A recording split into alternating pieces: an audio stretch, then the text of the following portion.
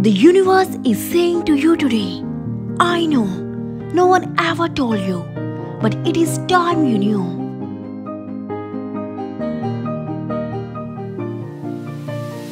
Nothing and no one can stop you.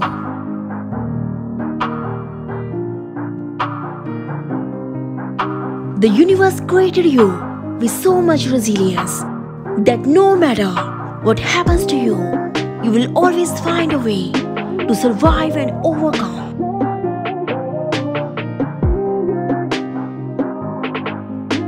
You can fight through the rose adversity and still come out alive to create a stronger version of you.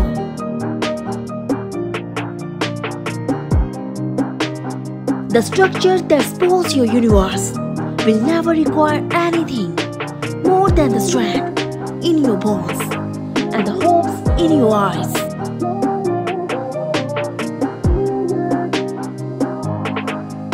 You are an art at its finest, and you are still under construction, which is why no matter what has happened in your past,